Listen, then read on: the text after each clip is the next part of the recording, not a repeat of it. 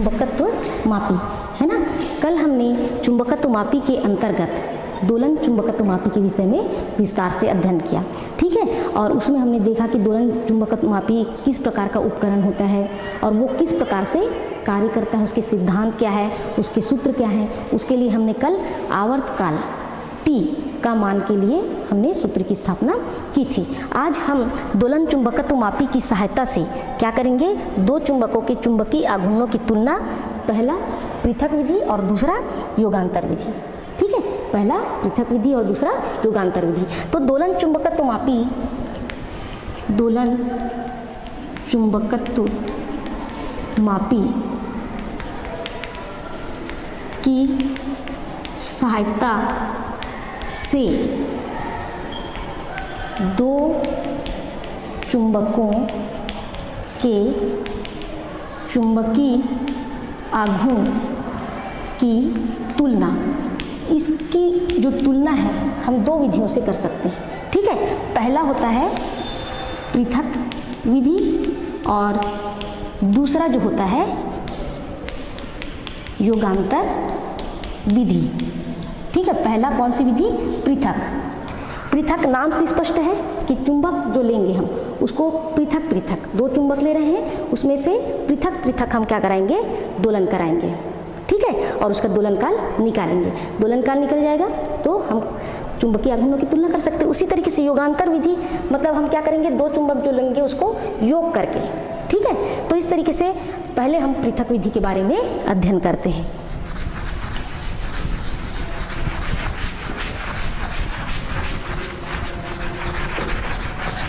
सबसे पहला विधि है। पृथक विधि से दो चुंबकों की चुंबकीय आघूर्णों की तुलना करना। अभी हमने जैसे देखा कि पृथक विधि मतलब दो चुंबक जो लेते हैं, उसमें पृथक पृथक रूप से हम दोलन चुंबकत्व मापी में चुंबक को रखते हैं और दोलन कराते हैं। ठीक है? जब दोलन काल हमको या आवर्त काल ज्ञात हो जाता है तो उससे हम क्या करते हैं, चुंबकीय आघूर्णों की तुलना कर लेते हैं, ठीक है? तो दोलन चुंबकत्व मापी देखिए, इसमें कैसे हम क्रिया करेंगे? तो ये सर्वप्रथम आपके दो चुंबक है, ठीक? आपको दिखाई दे रहा है? ये क्या है? दो चुंबक है है ना? अब इसमें से हम क्या करेंगे? एक चुंबक को क्या करेंगे? पहली बार हम इसमें विक्षेप चुंबक जो दोलन चुंबकत्व मापी उसमें रखेंगे, ठीक है? और दूसरी बार, दूसरे चुंबक को। तो सबसे पहले प्रयोग में हम क्या लेते हैं? ये पहला चुंबक, समंजन के उपरांत, इसको पूरी तरीके से समंजित कर लें, और उसके बाद इसमें जो हमारा रकाब है, इसमें क्या करेंगे? इस चुंबक को इस तरीके से रख देंगे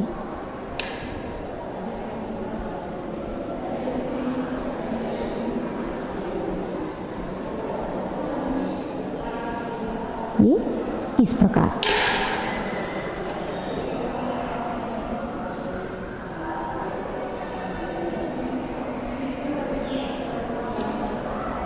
ठीक, कुछ देर बाद ये चुंबक क्या हो जाएगा?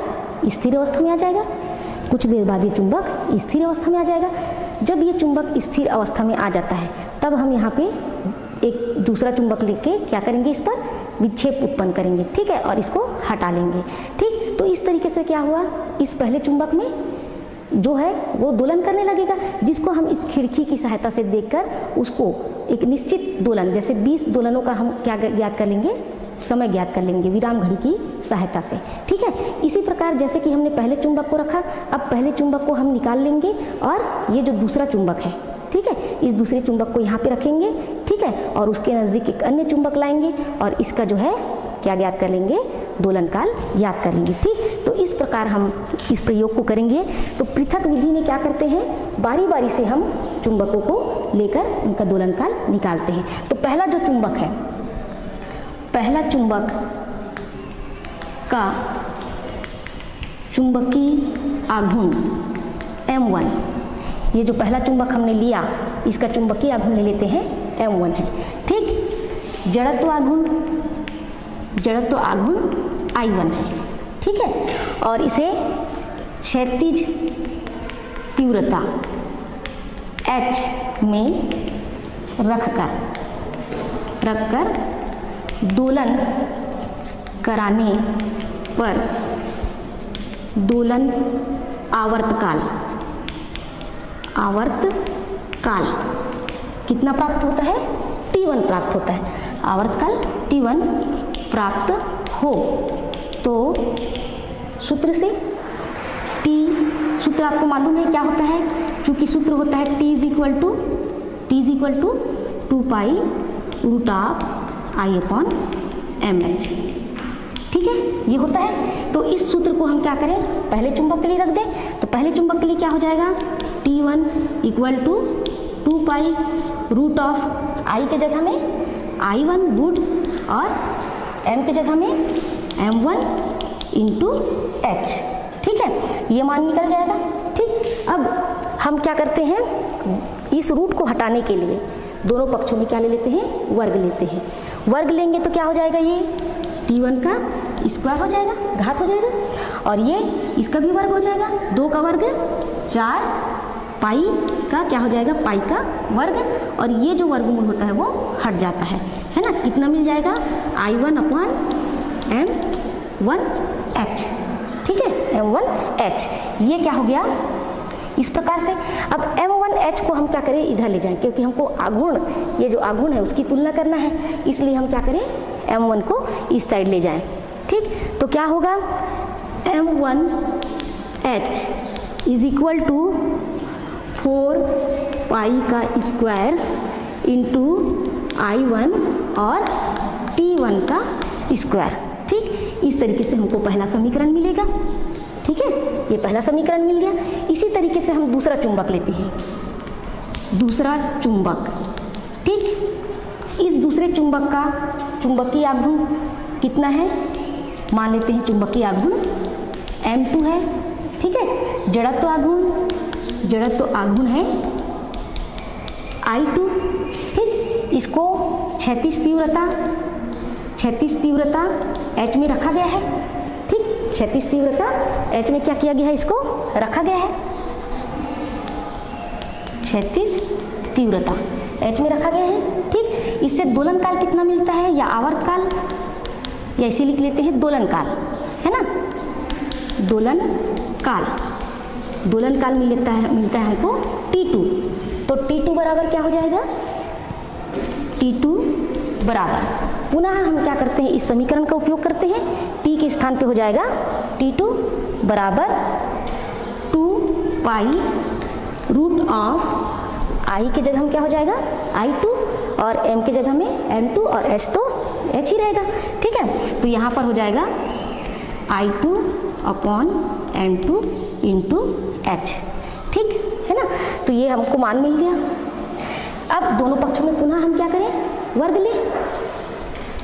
वर्ग लेने पर, वर्ग लेने पर क्या हो जाएगा?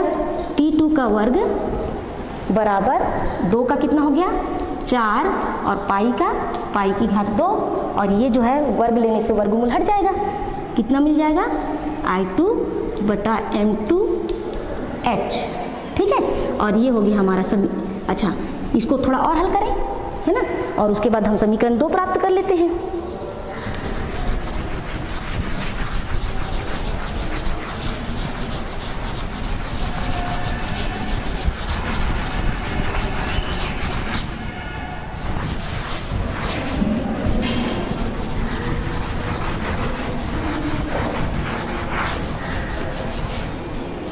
ठीक है तो T2 अब यहाँ पे M2H को इधर ले आए और T2 को उधर ले जाएँ।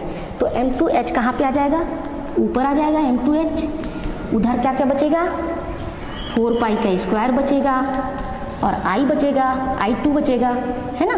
और बटा T2 का स्क्वायर, उसका वर्ग जो है, नीचे चला जाएगा। इस तरीके से हमने समीकरण एक और समीकरण दो प्राप्त किया, ठीक? अब क्या करें? समीकरण एक भागित दो करने पर। ठीक है, समीकरण एक से समीकरण दो को भाग कर दें।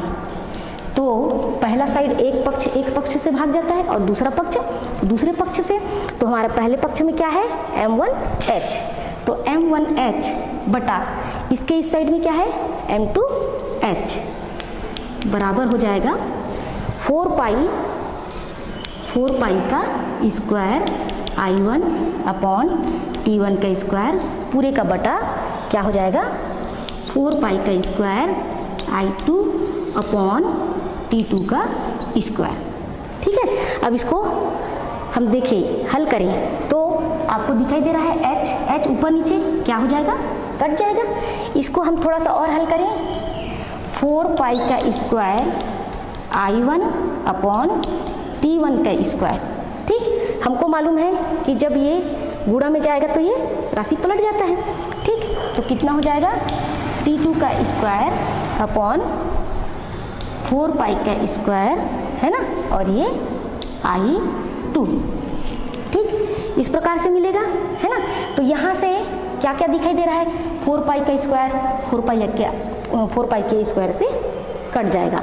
ठीक? बचा कितना मान? ये मान को हम आगे लिखते हैं। ठीक? तो एक साइड में हमारा कितना कितना मान बचा है?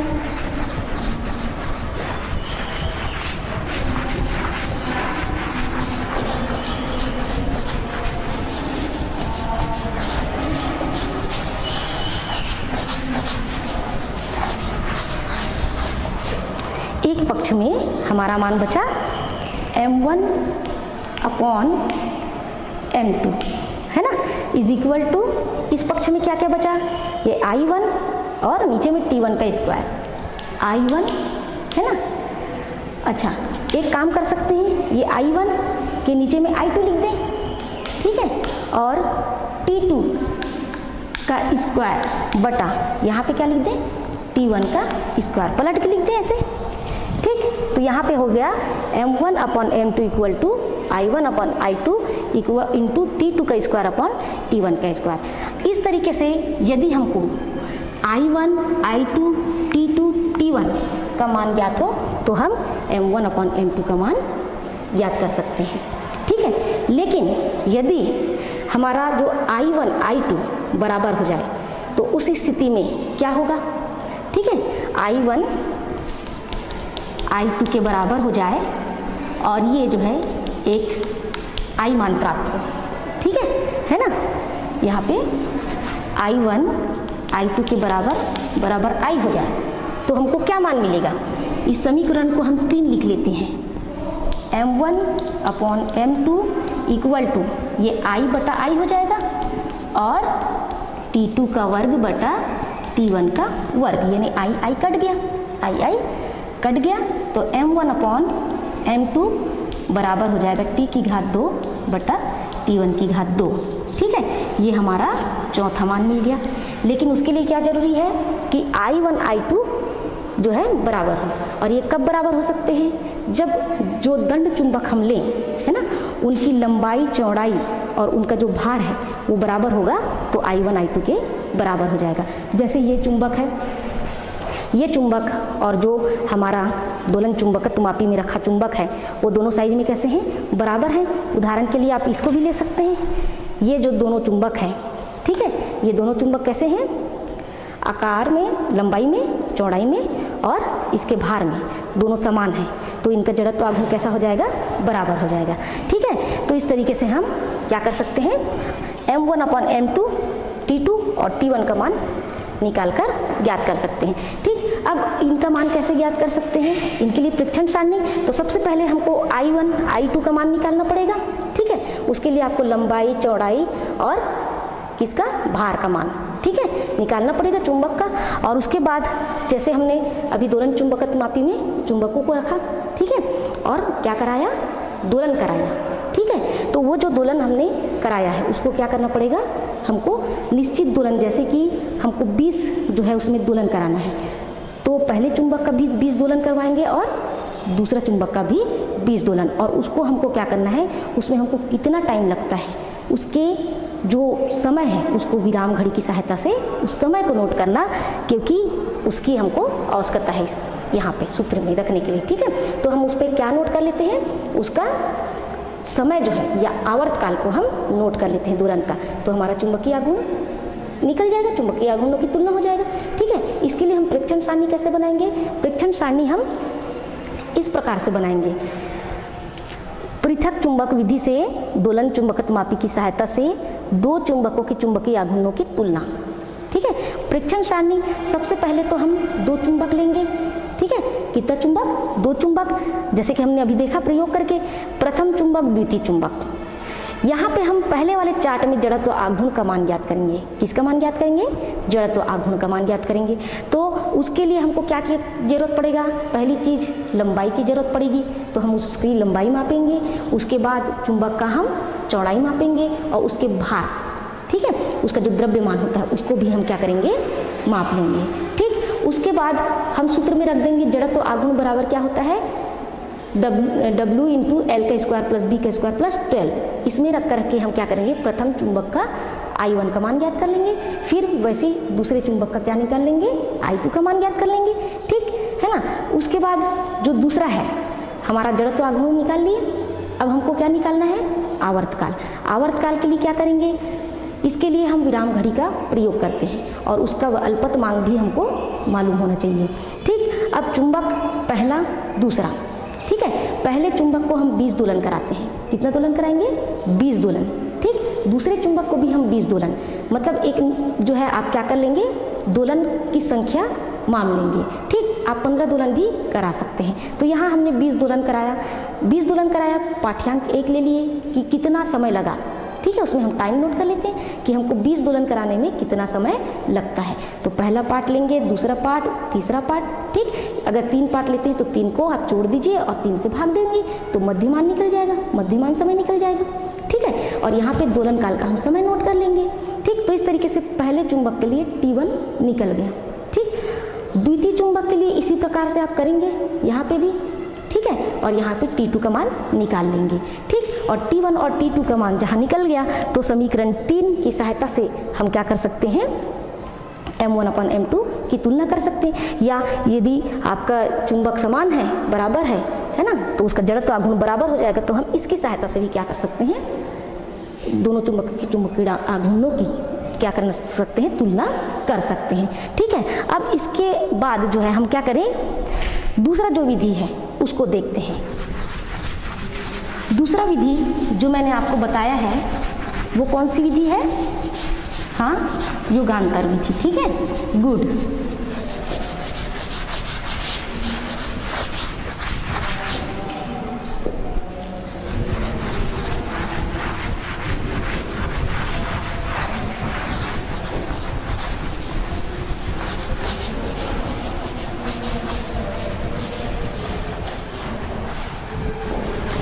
जो दूसरा विधि योगांतर विधि है, इसके लिए द्वितीय योगांतर विधि से दो चुंबकों की चुंबकीय आघूर्णों की तुलना करना। सबसे पहले, जैसे हमने देखा, ठीक है, कि हम पृथक विधि में एक एक चुंबक लिए थे। अभी हम क्या करेंगे? दोनों चुंबकों को लेंगे और एक साथ उनको क्या कर देते हैं? बाँध देते हैं। ठीक है? किस प्रकार से? इस तरीके से। ये दो चुंबक है है ना? ये जो है आपका दो चुंबक है, ठीक? अब बांधने के दो तरीके हैं। बांधने के इनको दो तरीके हैं। एक तरीका ये होगा कि इनका दोनों समान ध्रुव क्या हो? एक तरफ़ हो। दिखाई दे रहा है आपको? समान ध्रुव कहाँ है? एक तरफ़ है। एन और एन ठीक? है ना? इधर एस और एस ठीक है? इस तरीके से इनको क्या कर देंगे? ऐसे बाँध देंगे। और बांधने के बाद जो दुल्हन दोलन चुंबकत्वमापी है, उसमें पहले क्या करेंगे इसको रखेंगे, ठीक है? और बाहर से एक चुंबक लाकर उसको दोलन करवाएँगे और उस दोलन काल को हम नोट कर लेंगे, ठीक? दूसरी स्थिति क्या हो सकता है? दूसरी स्थिति ये हो सकता है कि ये जो है, इसको पलट दें और एन और एस विपरीत ध्रुव एक तरफ़ हो जाए, ठीक है? एन और एस विपरीत ध्रुव कैसे हो जाए? एक तरफ़ हो जाए। तो ये एक स्थिति ये बनती है। इसके लिए हमको क्या करना है? इसके लिए हमको सूत्र की स्थापना करना है। तो सबसे पहले हम क्या ले लेते हैं? दो चुंबक, ठीक है? दो चुंबक में पहला चुंबक पहला चुंबक पहला चुंबक का मान लिख लेते हैं। पहला चुंबक का, पहला चुंबक का चुंबकीय आघूर्ण, पहला चुंबक का चुंबकीय आघूर्ण लिख लेते हैं। एम वन है ना? जड़त्व आघूर्ण लिख लेते हैं। कितना? आई वन ठीक है? और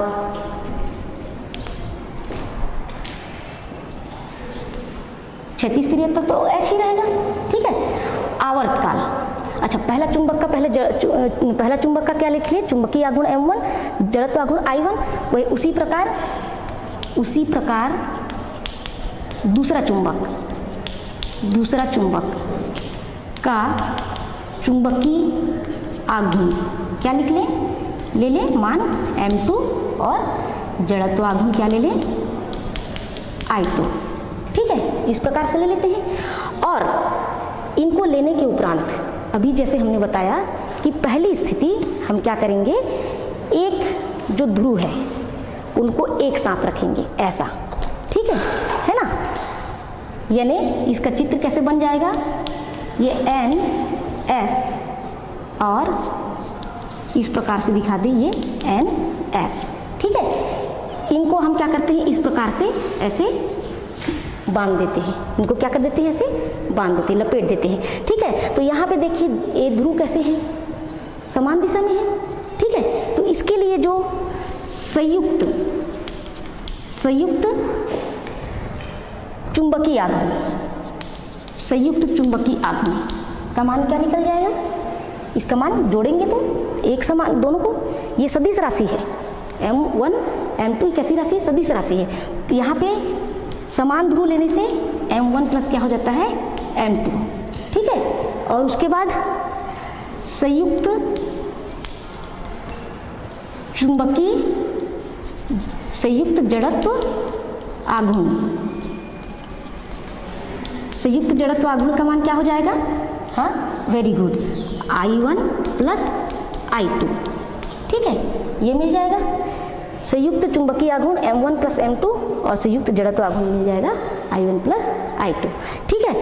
अब इसके बाद जो है, इन दोनों को लपेट कर हमको क्या करना है? दोलन चुंबकत मापी में रखकर उसका दोलन काल की गणना करना है।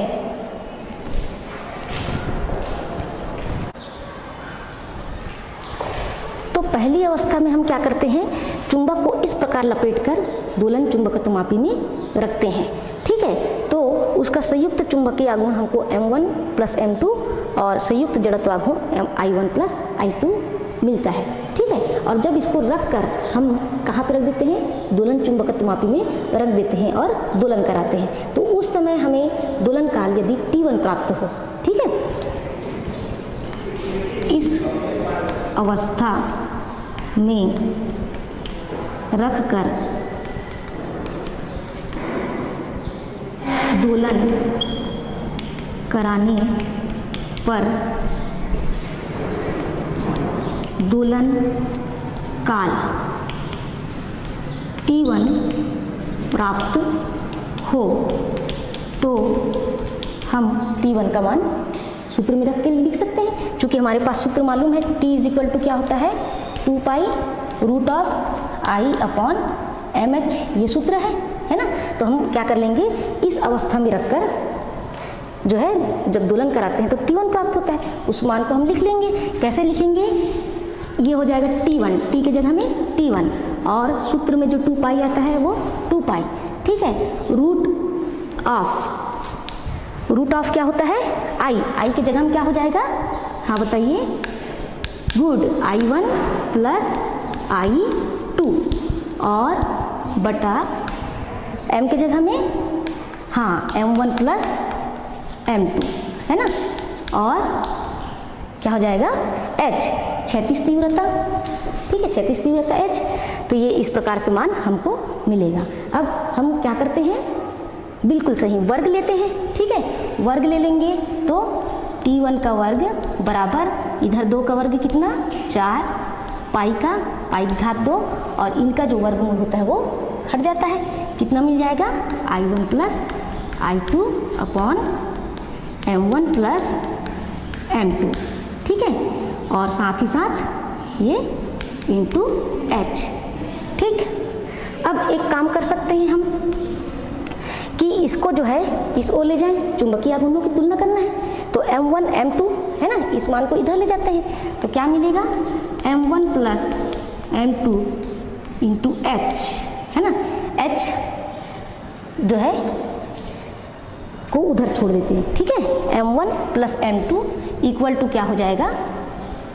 ये मान हमारा हो जाएगा फोर पाई का स्क्वायर है ना? और h को भी इधर ले आते हैं। ठीक है? Into H is equal to four pi का square into I one plus I two है ना? और ये हो जाएगा टी वन का स्क्वायर ठीक? ये जो है अपना पहला मान प्राप्त हुआ। ठीक? ये पहला समीकरण। ठीक है? अब क्या करें?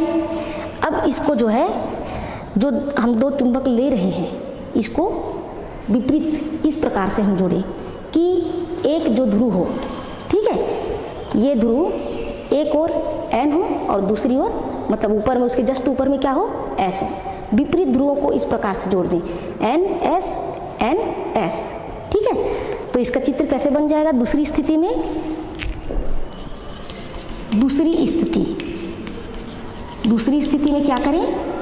जो चुंबक हम ले रहे हैं उनको इस प्रकार से जोड़ दें कि एक ध्रुव एन है तो दूसरा ध्रुव एक तरफ़ क्या हो? एस हो। ठीक है? तो इस स्थिति में हम इसके संयुक्त जो है चुंबकीय आघूर्ण निकालेंगे। तो संयुक्त चुंबकीय आघूर्ण क्या हो जाएगा? संयुक्त चुंबकीय आघूर्ण। संयुक्त चुंबकीय आघूर्ण। अब आपको मालूम है चुंबकीय आघूर्ण एक सदिश राशि है है। इसलिए जब हम विपरीत क्रम में इनको जोड़ते हैं तो वो m1 वन माइनस क्या हो जाता है? M2 ठीक है? M1 माइनस m2 विपरीत ध्रुवों को ऐसा जोड़ते हैं, एक दिशा, एक साथ, इधर तो क्या हो जाएगा? M1 वन माइनस एम और आपका जड़त्व आघूर्ण, संयुक्त जड़त्व आघूर्ण।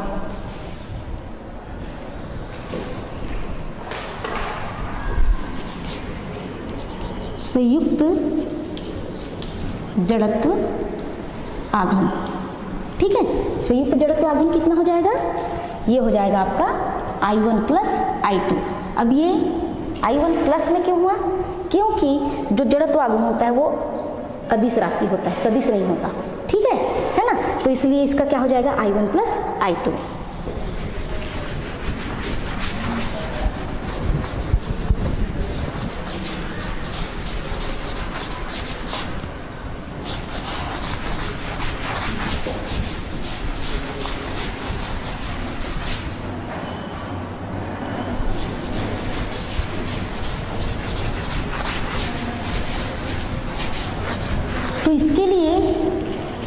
काल जब दूसरी स्थिति के लिए निकालते हैं तो दूसरी स्थिति में दोलन काल यदि टी टू मिले, है ना? दोलन काल टी टू प्राप्त हो तो क्या हो जाएगा? इसका मान वैल्यू रखेंगे तो टी टू का T two is equal to सूत्र में रखेंगे T two is equal to क्या हो जाएगा? टू पाई है ना?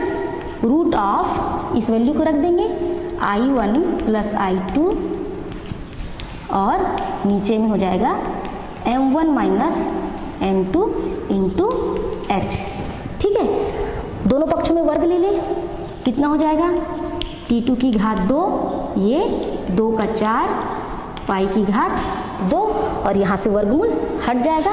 ये मिलेगा I one plus I two बटा M one minus M two M one minus M two into H ठीक है? अब एक M one minus M two into H को कहाँ ले जाए? इस ओ ले जाए? तो M one minus M two into H is equal to क्या हो जाएगा? इज़ इक्वल टू ये फोर पाई का स्क्वायर अपनी जगह में, है ना? I one plus I two अपनी जगह में और नीचे उतर जाएगा टी टू का स्क्वायर यानी टी टू की घात दो। ठीक है? इस तरीके से हमको क्या मिलेगा? समीकरण नंबर दो। ठीक? अब समीकरण एक को समीकरण दो से क्या कर दें? भाग कर दें। ठीक है? समीकरण एक भागित समीकरण दो करें। तो क्या प्राप्त होगा?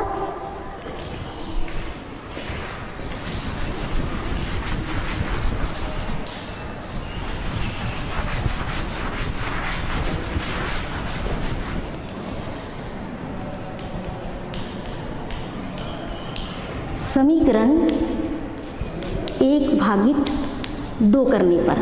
समीकरण एक क्या है? समीकरण एक ये है M one plus M two into H इस साइड को इस साइड से भाग दें M one minus M two into H से। ठीक है? तो ये हो जाएगा M one minus M two into H equal to इस साइड में क्या क्या मिलेगा? फोर पाई का स्क्वायर, है ना? I one plus I two upon T one का स्क्वायर अपॉन यहाँ पे हो जाएगा, फोर पाई का square I one I two plus I two upon T two का स्क्वायर। ठीक है? ये जो है इस प्रकार से मिलेगा। अब इनको भाग दे देते हैं। भाग कैसे मिलेगा? आपको स्पष्ट है, ये h बराबर है, h कट जाएगा, ठीक?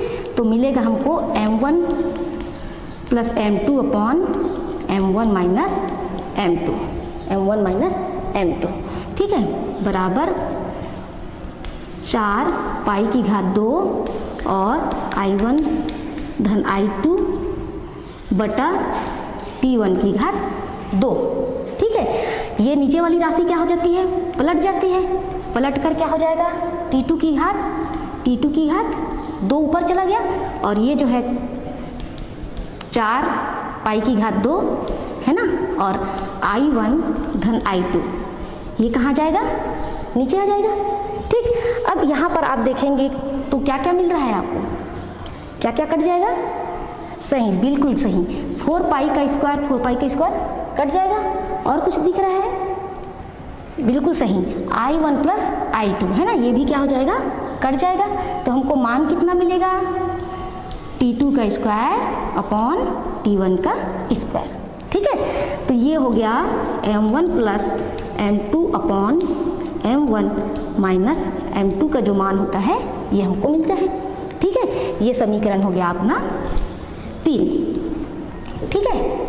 अब इस समीकरण जो तीन मिला है, यहाँ पर हम योगांतरानुपात नियम लगा सकते हैं। चूँकि हमारे जो ये विधि है, वह क्या है? योगांतरा।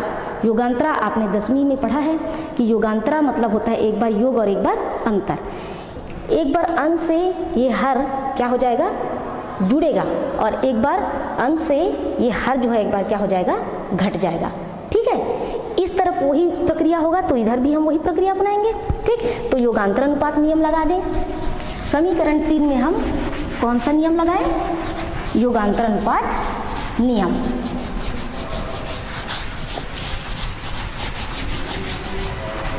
तो यहाँ पर योगांतर अनुपात नियम लगाने से योगांतरानुपात नियम से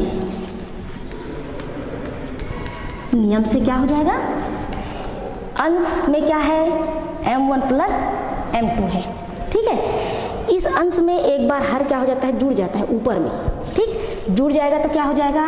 ये plus M one minus M two ये जुड़ गया और नीचे में अंश से m1 one plus M two जो अंश है, उससे क्या हो जाएगा? हर जो होता है वो घट जाता है।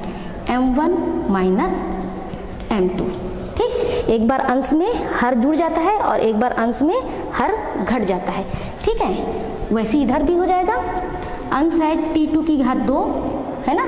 इसमें हर टी वन की घात दो है, दो जो है, एक बार जुड़ जाएगा और टी टू की घात दो में एक बार टी वन की घात दो जो है, घट जाएगा। ठीक? अब इसको हल करिए। हल करेंगे तो आप देख रहे हैं m1 वन प्लस एम कितना हो जाएगा? बिल्कुल सही, टू एम वन, है ना? और plus M two minus M two. क्या हो जाएगा? कट जाएगा, शून्य हो जाएगा। नीचे में इसको हल करिए। m1 one plus M two इसको खोल दीजिए। ऋण चिन्ह को अंदर ले जाइए। तो ऋण गुणित धन, ऋण एम वन, ऋण गुणित ऋण, धन एम टू। ठीक है? बराबर। टी टू की घात दो धन टी वन की घात दो बटा टी टू की घात दो ऋण टी वन की घात दो। अब इसको हल कर दीजिए। ठीक है? ये एम वन धन का है, ये ऋण का। कट जाएगा। ठीक? धन एम टू धन एम टू दो हो जाएगा, दो एम टू ठीक है? तो दो एम वन बटा क्या हो जाएगा? दो एम टू बराबर टी टू की घात दो, धन टी वन की घात दो बटा टी टू की घात दो, ऋण टी वन की घात दो। ठीक है? यहाँ से टू टू कैंसिल हो गया। तो कुल मिलाकर हमको क्या मान प्राप्त हुआ? वेरी गुड क्या मान प्राप्त हुआ? M one upon M two equal to T one T two का स्क्वायर प्लस टी वन का स्क्वायर है ना? माइनस टी टू का स्क्वायर माइनस टी वन का स्क्वायर तो इस मान को हम एक बार पुनः लिख लें।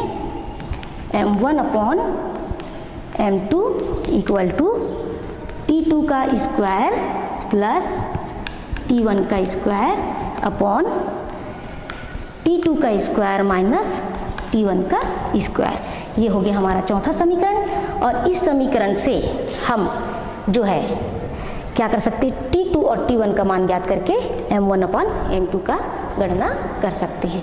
ठीक है? तो इसके लिए प्रेक्षण सारणी कैसे तैयार करेंगे? इसके लिए जो प्रेक्षण सारणी है, उसको हम इस प्रकार से तैयार करेंगे। ठीक है? ये योगांतर विधि से दोलन चुंबकत्व मापी की सहायता से चुंबकीय आघूर्णों की क्या करना? तुलना करना। यहाँ पे हम विराम घड़ी का अल्पतमांक जो हम विराम घड़ी समय नोट करने के लिए लेंगे, उसका अल्पतमांक लिख लेंगे। जितना आपको प्रयोग करना है, उनका क्रमांक, ठीक है?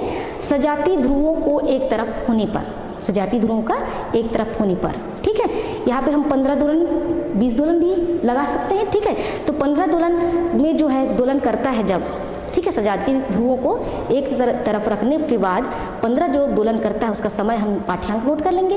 पहला पाठ्यांक, दूसरा पाठ्यांक, फिर जोड़कर उनका मध्यमान ज्ञात कर लेंगे। ठीक तो इस तरीके से हमारा क्या निकल जाएगा?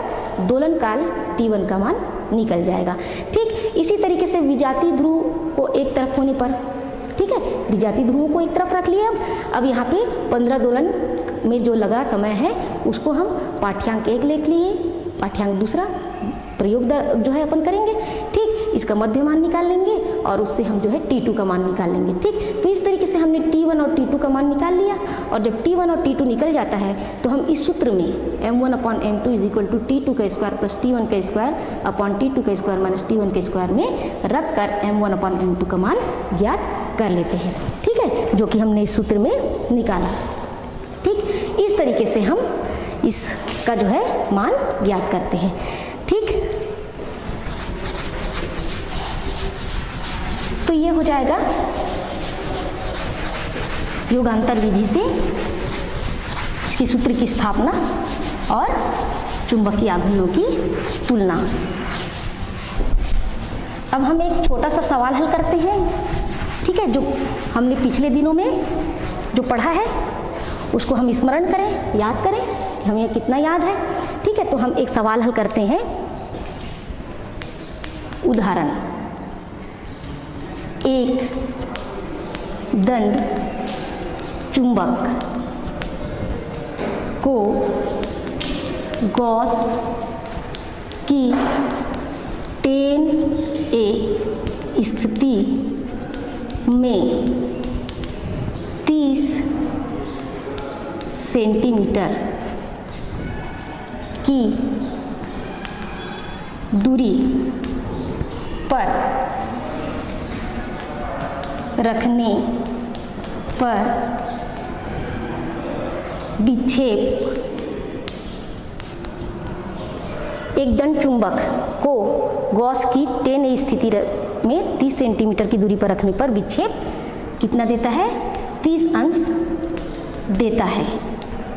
ठीक है? इसी दूरी पर दूसरा चुंबक